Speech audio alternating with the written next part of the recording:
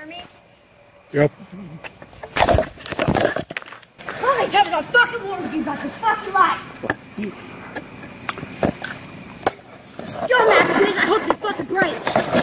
What'd you throw at me? Yep.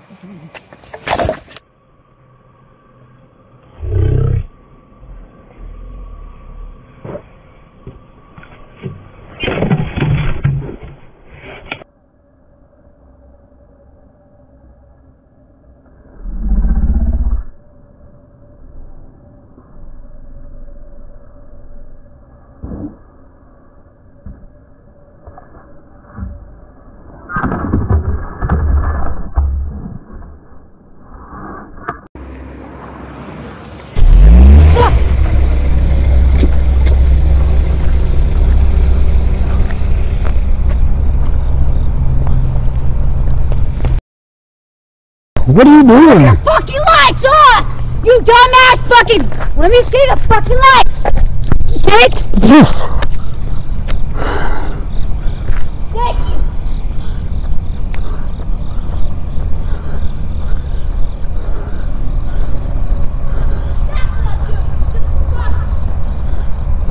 What you saw in the video occurred in August 2023. The timestamp was a little bit off, but the date was correct.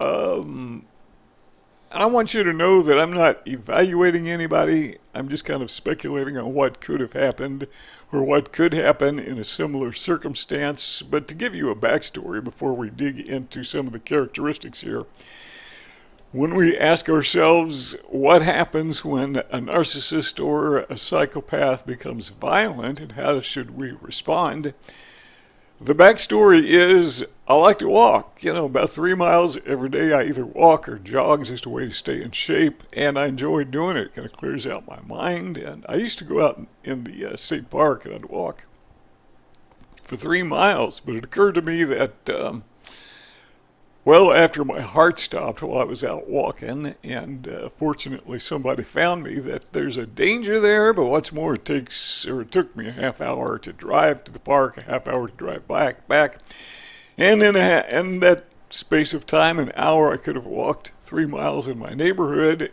not to mention save gas. So a few years ago, I started walking in my neighborhood. Never had a problem, and in summertime, I would walk at night because it's cooler. And it's it's um, you know fairly common for people to pull up beside me and talk to me, and sometimes even compliment on my lights because at nighttime, when it's hot in the summer and cool in the evening and fewer bugs, or at least you can't see them if they're there, I wear bicycle lights. I've got a light that I wear on my hat so I can see where I'm going. I've got flashing lights. You saw those in the video. Uh, I wear on my back and so people can see me. So the objective is I can see and I can be seen. And I've even had a police officer one time pull up side of me and compliment me on my lights. But uh, this one evening, this is before the video, a few days before the video was taken, there was a car pulled up behind me and stopped. That's unusual. So I stood at the side of the road to make sure they had room to get by. And instead of driving by, the driver drove up alongside of me, and uh, it was a young woman, and she said, I'm going to run you over, or I'm going to run you down, something akin to that. And then she pulled into a driveway at a house. Uh, and when she got out of the car, I asked her, you know, what did you say? And she repeated it. I'm going to run you down. I'm going to run you over. So one more time, she got out of her car, stomped up on the front porch, and I asked her, What did you say? And she said something about not liking my hat and the lights. And then she said, I said, I'm going to run you over or run you down, whatever she said. So I just went on my way. And a few minutes later, I just happened to encounter a patrol car. Actually, it was a pickup truck, but uh, a police officer, county police officer, I flagged him down and I told him what happened. You know, there was this woman, young woman, who threatened to run me over. And he gave me his, um, gave me his email address, gave me a business card, email address, text number, and asked me to send him the details, which I did. And in addition to that, I also uh, sent a note to the sheriff's office by way of the internet, so they were notified three times. I was thinking there would be some intervention. To my knowledge, that intervention never happened, or if it did, uh, nobody told me about it. But it occurred to me then that, man, I should have had that recorded. So I'm going to get me a um, body cam. Bought one on Amazon. If I remember, I'll put a link in the description of the body cams that I have. And uh, if I encounter this young woman, or anybody for that matter, in the future, I'll have it recorded. So August 28th came along a couple days later, and I was walking the same place, and uh, late at night, had my lights flashing, but this time I had uh, not only a body cam, but I had my cell phone camera on. So I had two video cameras going at once just to be safe. And that's when the incident happened. So I made my way home. I called the police, told my wife, called the police. And within literally a minute, almost literally a minute, we had a first responder knocking on the front door. That's because the guy lived a few doors down, so he heard it on the radio or however they communicate. I don't know if he has a police radio or they call people, I don't know, but he heard about it, responded almost immediately, somebody I know. And it wasn't long before we had several police officers and the ambulance was there. And I said, Look, I'll have my wife drive me to the hospital. And they said, No, you need to ride in an ambulance because your heart rate is way up. And I've had heart issues in the past. I have a, uh, what do you call those things? Um, a heart pump or something put in. And um, my blood pressure was way up. And, uh, you know, this woman chunked a piece of wood at my head, threw a piece of wood at my head. And I had a black eye, and it was swollen. It wasn't black at that moment, but a couple days later, it turned into a black eye. So I had this big knot on my head. That's important because a few years earlier, I'd fallen off a ladder, and uh, that resulted in a uh, subdural hematoma or a bleeding of the brain and uh, that time they threw me on a helicopter and flew me to a hospital uh, in a big city. And they said there's a good chance this guy's not going to survive the night. It was just that serious. Told my wife that. So, uh, you know, a blow to the head can be deadly. And this is the second time that happened. Fortunately, this time it wasn't that serious, but still, the possibility I could have died that night.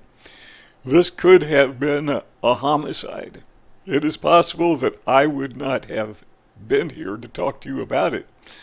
But the end of the story, the police came out, arrested her. You know, police have these little tricks to get people to confess things, and I guess, I don't know what they said to her, but I'm guessing they asked her what she did with my hat, and she told them she threw it away. And when she told them that, she unwittingly admitted to stealing the hat, so they arrested her. Plus, they had the video. And the, the video that I had that I was wearing, the body cam, I left it on. You know, I turned it on when I left my house. And then it occurred to me that it was still on when I got to the hospital. So, you know, I recorded everything. It's about an hour long. So I had it all uh, had it all documented on video. And when we got to the hospital, then it occurred to me that, uh, you know, the police need to see this. So uh, they took a look at it, and when they saw what you saw, that's when they really got upset. And they went out looking for her. Couldn't find her because apparently, you know, it was obvious where she lived. You know, I got her address, I got her license number. So they went to her house. Mom said, uh, according to the police, mom said um, something to the effect that she slept through it. She didn't know, whatever. They talked to the neighbors.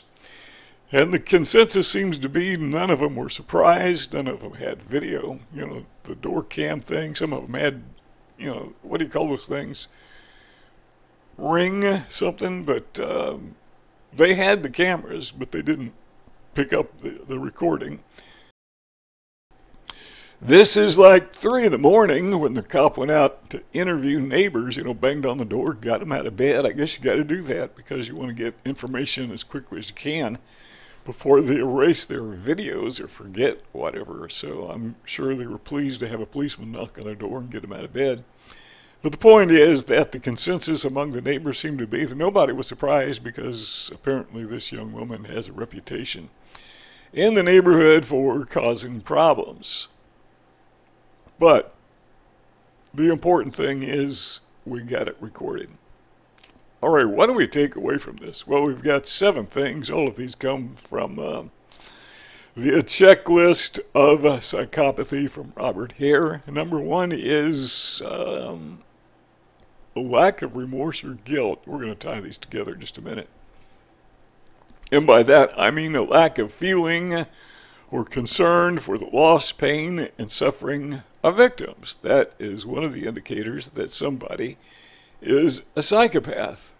They don't care. There's no guilt. Uh, if it hadn't been video recorded, I suppose, I suppose rather, I was going to say suspect and then suppose, and they came out suppose. But uh, I suspect that uh, she would have denied it. That's why I got a video camera. Number two, callous and unemotional. That is a lack of feelings toward other people in general, cold, contemptuous, inconsiderate, and tactless, and then that's according to psychopathicstyle.com, sociopathicstyle.com. And uh, I might add, not only are they callous in their feelings toward others, but uh, they only care for themselves. Number three, early behavior patterns. Well, this young woman was only 19 years old, so it's still early. So that's kind of obvious. Uh, juvenile offending, same thing. If you define a juvenile as somebody who is younger than uh, most people, then it's a juvenile. 19, that's technically not a juvenile, but still close enough. And this was her first um, first offense, or we should say the first time she was caught. The outcome was she was charged um, with battery. They don't have assault in my state, they have battery. And she was charged with battery, uh, fifth degree battery, and um,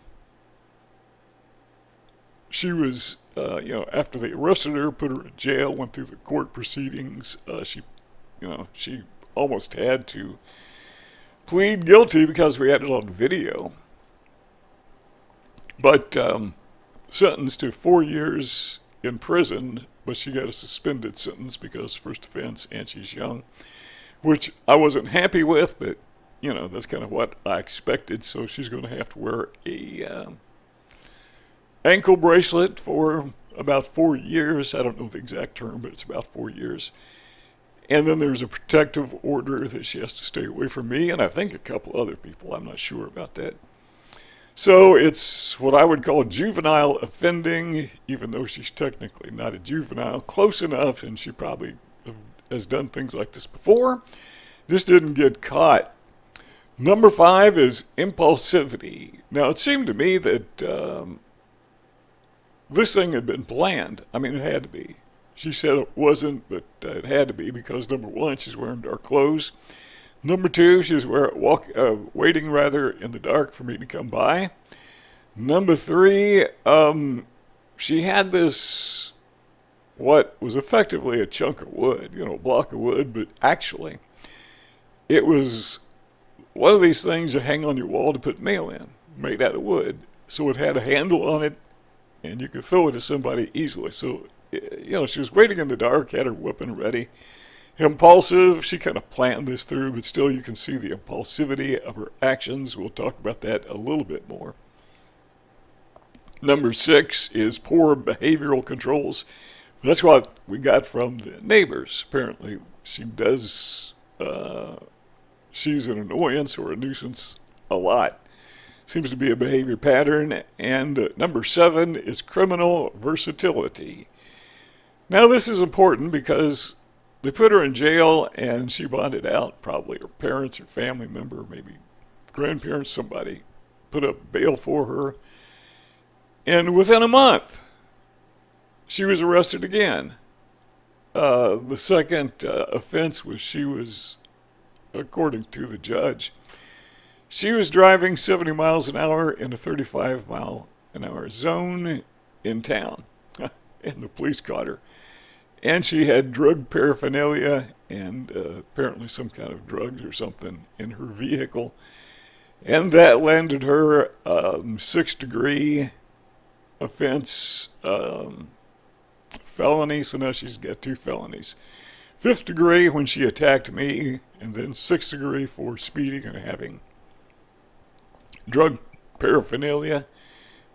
And they probably could have made mine a fourth degree, which would have been more serious, but I think they wanted to negotiate a little bit with the uh, with the other attorney, and that was kind of like, okay, we'll make it fifth instead of fourth, and you know that'll be a little bit better prison sentence because you're going to be convicted, you know, so you may as well go ahead and enter a guilty plea, which she did. So here's a 19 year old girl. She has two felonies back to back. I mean, it was almost exactly, if I remember right, a month apart.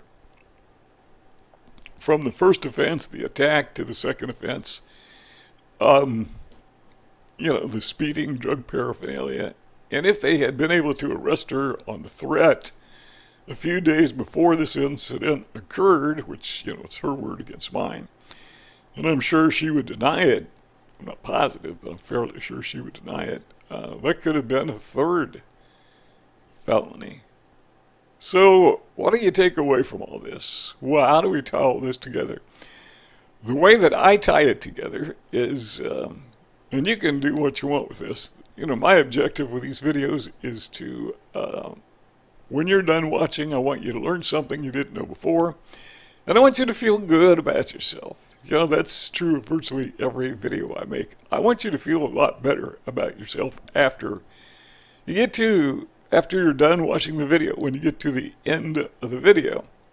But the takeaway is buy a video camera. I mean, record yourself. I pretty much record my life. I went to the grocery store early this morning. I usually go about 6 o'clock when it's not busy. I've got a um, Cell phone that I put in my pocket, turn on record. Nobody knows it, and it's common. Nobody's bothered by it because cell phones are common. But I also bought a, um, as I mentioned earlier, I also bought a uh, body cam. Well, I bought a second one since then because there's a little better, well, a police style body camera. I bought, and it doubles as a um, dash cam. It's pretty good. Uh, and the odd thing is, it's no more expensive than a dash cam. So you may as well buy it because you can wear it as a body cam and as a dash cam. So that is uh, that is my takeaway. Is man, record yourself. So I've got body cams. I've got uh, use my cell phone as a body cam. So technically, I, you could say I got three. My house is surrounded by video cameras. Uh, my cars have dash cams in them. So basically, I record my life. And if nothing happens, just delete the videos. Or, you know, they delete themselves because they rotate. They're on a loop. But um, another benefit of having cameras is it keeps you honest because you too are being recorded. Last thing you want to do is to record yourself doing something wrong. So I tend to obey the speed laws because I'm recording myself. And you never know when you might get pulled over and the cop sees the camera and maybe they could seize it. I don't know if they can or not. So those are some of the advantages of um, having cameras and I'm not telling you what to do. I don't give advice. I give ideas. I tell you what I would do, and you can take it or leave it. But as we tie all these things together, the fact of the matter is we live in a world that is populated like 2% with psychopaths, narcissists. They're out there.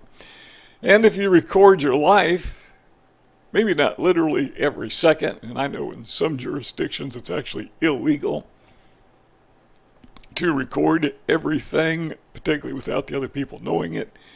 Fortunately, that's not true where I live. Otherwise, this video would have been mute. Um, you know, they would have been, uh, uh, couldn't have been used as evidence. So that's kind of a dumb law if they have it.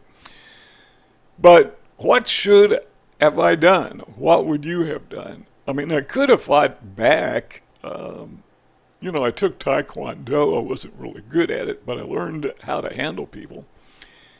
But, you know, I've got shoulder problems, um, got surgery uh, planned in the near future, so it would have been a little bit difficult. I was carrying, actually carrying a barbell, dumbbell rather, when I was walking so I could do, um, what do you call them, hammer curls as I was walking. Could have smacked her in the head with that if I wanted to. I didn't. Could have shot her. Didn't want to do that. But had I reacted, responded differently, then I would have had some problems. So I found that by maintaining a flat affect, record it, take it to the police, stay in my lane, let the bad guy make the mistakes, get it on video, and uh, that's your best defense, in my opinion. In fact, they teach you that in Taekwondo, that uh, if you can walk away, walk away. Otherwise, you might get hurt. You know, you don't have anything to prove by fighting somebody. You can take them to uh, call the cops.